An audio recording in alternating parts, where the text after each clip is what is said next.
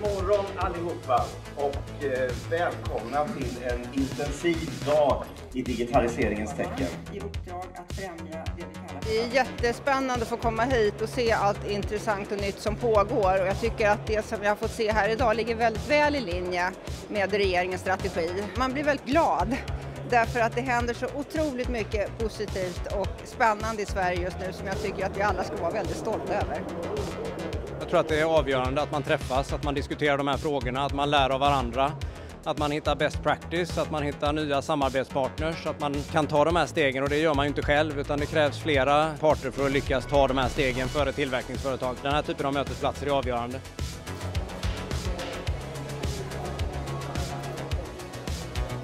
Tycker att det har varit en jättespännande dag hittills. Eh, det har kommit upp lite brännande frågor också som företag måste ta ställning till när de ska jobba med automation och digitalisering. Det är riktigt bra föreläsare. Det var jätteintressant att lyssna på skogsindustrin när Siemens pratar om så att det är mycket det här, lyssna av hur eh, industrin jobbar med det. Vi håller ju på med digitalisering brett mot industri och vattensidan så att det är mycket som man kan ta, ta med sig hem härifrån. Till exempel det här stadens kontrollrum med mera. Fantastiskt trevligt och jag tycker det är kul att vi har en blandning utav både universitet, företag och eh, de stora företagen för att driva automation och skapa mer jobbtillfällen i Sverige.